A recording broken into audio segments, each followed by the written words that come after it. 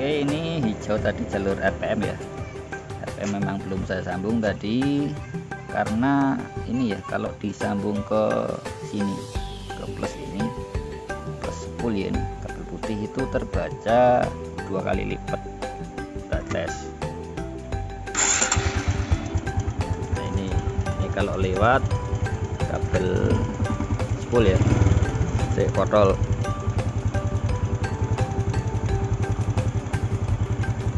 ini lewat spool jadi dikas dikit udah langsung 12 nah, kalau kita lewatkan jalur pulser ntar kabelin oke kalau kita jalur pulser ini ya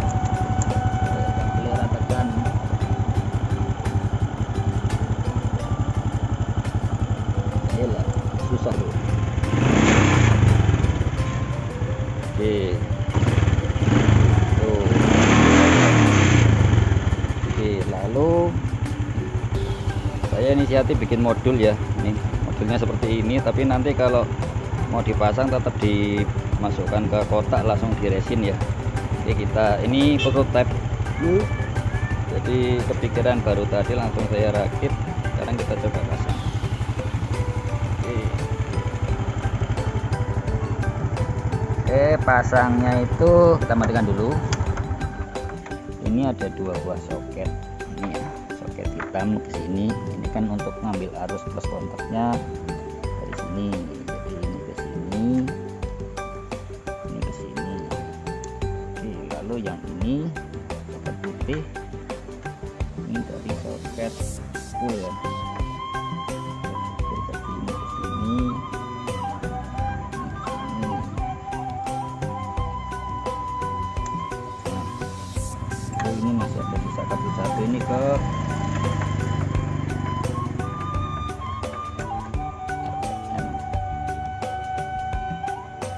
Dibuatkan soket ya. Ini untuk uji coba saja. Nah ini kita tes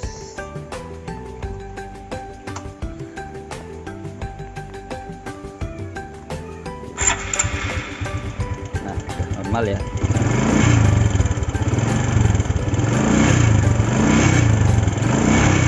Oke, nah bro, ini pemasangan sudah selesai ya.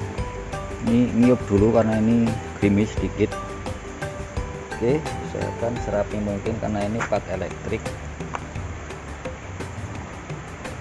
Nah, kita tes dulu ya.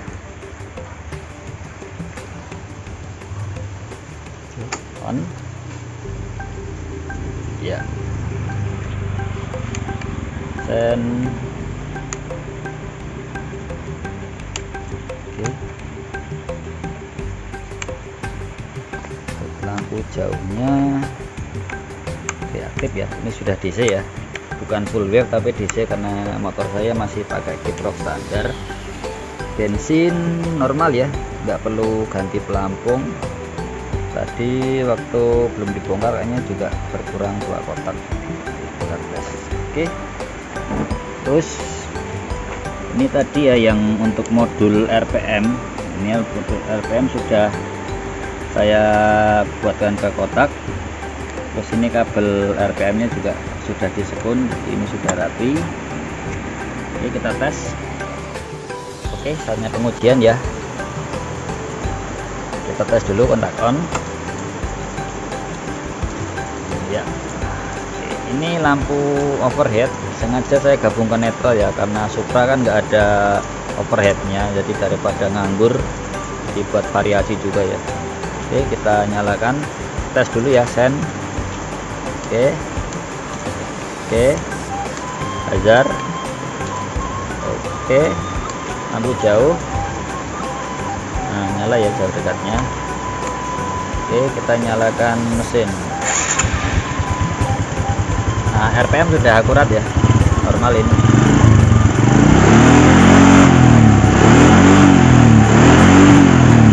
oke kita oper gigi satu gigi dua gigi tiga sahabat